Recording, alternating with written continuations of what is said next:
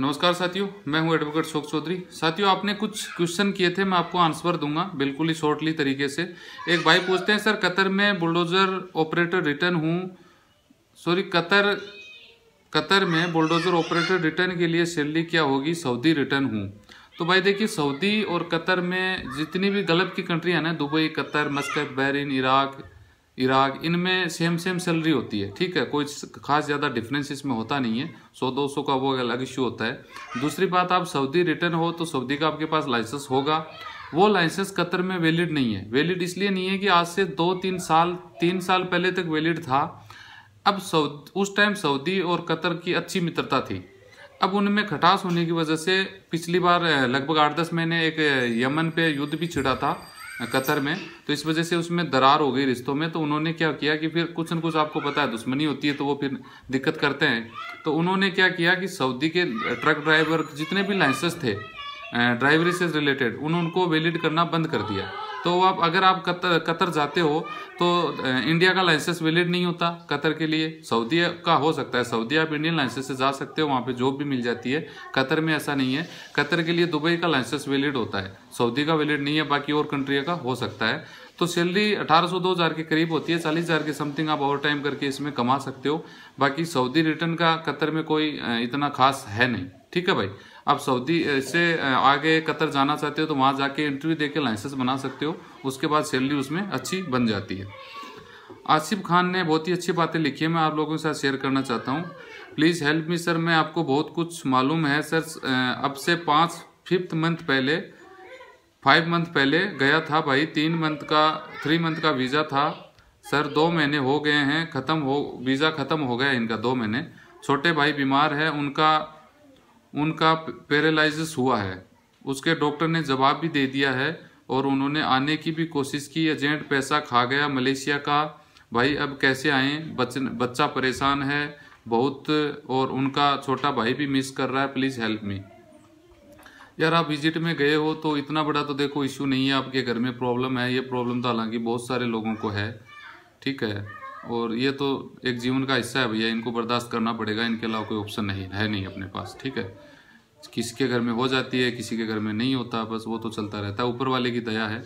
लेकिन इसमें मैं आपको बता दूँ कि अब जनवरी फ़र्स्ट में जैसे ही समाधान होता है, आप निकल जाओगे। पासपोर्ट है तो अच्छी बात है, नहीं है तो आप आउट पास बनवा लीजिए, स्पेशल पास से या गवर्नमेंट जो भी नियम करती है, वो जुर्माना वहाँ पे जमा करवा के आप आराम से निकल जाओगे। जनवरी में आप घर पहुँच सकते हो। ये ऑप्शन है, मैं आपको दे सकता हूँ। इसके लिए मैं कुछ अलग से सोचा, एक दो दिन में मैं वीडियो भी डालूँगा। ठीक है भाई? अनिल लेगी जी पूछते हैं, सर, आप बताइए कि मैं बारहवीं पास हूँ और मैं सस्ते यूरोपियन कंट्री जाना चाहता हूँ, कोई मलेशिया के बजट में? भैया, सस्ती यूरोपियन कंट्री कौन है यार? लोग अपने आप को सस्ता नहीं मानते। यूरोप, देश का सस्ता कैसे मान लेगा? मलेशिया के बजट में तो भैया कहीं नहीं जा सकते आप। ठीक है, मलेशिया के बजट में तो मलेशिया ही जा पाओगे और सस्ती यूरोपियन के चक्कर में पैसा मत खराब कर देना।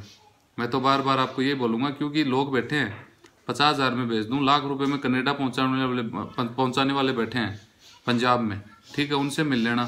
बीस हज़ार पाँच सौ में ही भेज देते हैं, बाकी तनख्वाह सैलरी से कटवा लेंगे वो अपने आप। बड़े मुकेश अंबानी की औलाद है वो, ठीक है? तो इनके चक्कर में मत पड़ना भैया, जैसी अपनी कैपेसिटी है उसी के अकॉर्डिंग उसी कंट्री को चुन लो, ताकि लाइफ टाइम में बीस बीस, पच्चीस, तीस हज़ार तक अपन कमाना चाहते हैं ना, वो तो टाइम टू टाइम मिलता रहे। ज़्यादा कमाने के चक्कर में वो भी नहीं मिले, खराब हो जाए वो अलग से। तो थोड़ा सा बचो इस चीज़ से, इस जो निगेटिव थिंकिंग है ना, इसको बाहर निकालो माइंड से। सही नहीं है ये। आसिफ खान पूछते हैं, भाई गवर्नमेंट सज़ा नहीं देती क्या? इन्होंने ये पूछा है इलीगल वर्कर इंडिया आते हैं तो गवर्नमेंट सज़ा, बिल्कुल सज़ा भैया, यही है। जो इलीगल वर्कर है, बैठे हैं बेचारे काफ़ी टाइम से पासपोर्ट उनके पास नहीं है, खाने को पैसा नहीं है, काम करने को नहीं है, काम करते हैं तो पैसा नहीं मिलता, ठीक है, पैसा लोग खा जाते हैं पासपोर्ट बनाने के लिए इंडिया आने के लिए नहीं है, कुछ भी नहीं है स्पेशल पास गवर्नमेंट ने बंद कर रखा आउट पास वगैरह वगैरह सब क्लोज है तो ये सज़ा ही है, इसको सज़ा नहीं कहोगे तो क्या कहोगे? गवर्नमेंट वैसे कोई कोड़े नहीं मारती है मलेशिया की, ठीक है, ये सज़ा इसी में आपको एहसास हो जाता है कि अपन सज़ा भुगत क्या है, बाकी कोई वैसे कोई सज़ा नहीं है और सजा पुलिस इमिग्रेशन के इलीगल वर्कर धक्के चढ़ गए तो वो जेल में डाल देती है, वो भी सजा होती है। बाकी कोई क्या सजा इसको सजा ही बोलते हैं भाई।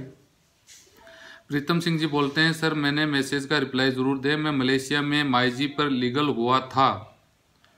Passport expire, but passport renew नहीं हुआ, अब इनलीगल हूँ। वापस आना चाहता हूँ, कैसे आऊँ? वापस ऐसे ऐसे जाना है कि डिपोर्ट ना हूँ, ऐसा हो सकता है। क्योंकि बाद में मुझे कनेडा जाना है, कोई प्रॉब्लम तो नहीं आएगी। भैया, देखिए, आप इलीगल हो पासपोर्ट आपके पास है पासपोर्ट एक्सपायर हो गया, ठीक है? तो कोई नहीं डोंट वरी इसी पासपोर्ट से आप निकल सकते हो, जनवरी में निकल जाना। स्पेशल पास लगवा लेना ताकि उसमें ब्लैक लिस्ट नहीं होगे तो कनेडा में फिर कोई इफ़ेक्ट नहीं पड़ेगा।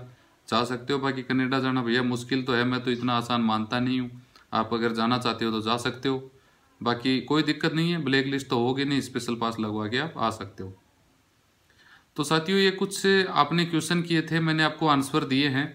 ठीक है भाई? और वीडियो अच्छा लगे तो लाइक और शेयर दूसरों साथियों कर दिया करो यार अपने लोगों को, ताकि थोड़ा बहुत उनको भी नॉलेज मिल सके। ठीक है? आप देख रहे हो, आपके दस साथी नहीं देख रहे हैं तो उनको व्हाट्सअप सेंड कर दो यार, ताकि उनको भी थोड़ा सा नॉलेज मिल सके गाइड मिल सके।